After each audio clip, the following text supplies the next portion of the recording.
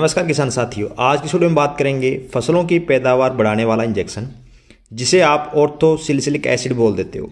सिलिसाइक्लिक acid किस तरह से हमारी फ़सलों की जो पैदावार है, वो बढ़ाने में हेल्प करता है?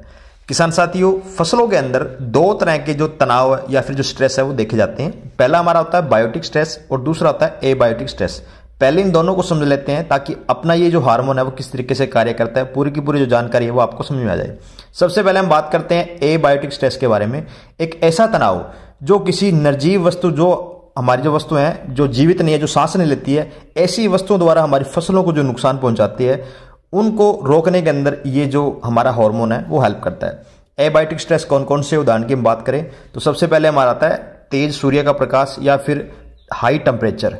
नंबर दो पर हम बात करते हैं कि कई बार फ़सलें आपने देखी हो कि अत्यधिक सिंचाई या अत्यधिक पानी के कारण हमारी जो फ़सलें हैं, वो हल्का फुल्का जो दबाव है, वो आ जाता है फ़सलों के अंदर और जो हमारी फ़सलें हैं, वो पीली पड़ जाती है। नंबर तीन पर आता है हमारा हीट स्ट्रेस या फिर जिसे आप हीट वेव बोल देते हो, यानी कि गर्म हवाएँ जो चलती है, वो हमारी फ़सलों को काफ़ी मात्रा में जो पैदावार में डिफेक्ट है, वो लेकर के आती है। उसके बाद में दूसरा हमारा आता है बायोटिक स्ट्रेस एक ऐसा स्ट्रेस या ऐसा तनाव जो किसी संजीव वस्तु के कारण होता है। इसके अंदर हमारा सबसे पहला आता है बैक्टीरिया। काफ़ी सारे जो बैक्टीरिया है वो हमारी फ़सलों को नुकसान करते हैं। उसके बाद में आ रहा है हमारी फंगस।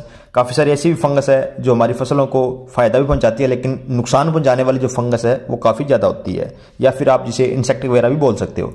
किसान साथियों, ये जो हमारा सिलिसाइक्लिक एसिड है, ये क्या करता है कि बायोटिक और एबायोटिक स्ट्रेस दोनों से हमारी फ़सलों की जो बचत है वो करता है। इस हार्मोन को आप फ़सल की किसी भी अवस्था के अंदर या फिर किसी भी फ़सल के अंदर आप इसे प्रयोग कर सकते हो। लेकिन सबसे बेस्ट इसका जो रिज़ल्ट है वो रहता है कि जहाँ पर हमें लगे कि बायोटिक या फिर एबायोटिक जो स्ट्रेस है, वो फ़सल के अंदर आने वाला है। तो उस समय अगर आप इसका प्रयोग करते हो, पाँच एम प्रति लीटर पानी की डोज जो है, वो रहती है। तो इसका जो एक्सीलेंट रिज़ल्ट है, वो देखने को मिलता है। उम्मीद करता हूँ किसान साथियों जानकारी आपको अच्छी लगी होगी। जानकारी अच्छी लगी हो तो वीडियो को लाइक और चैनल को सब्सक्राइब करना ना भूलें। धन्यवाद।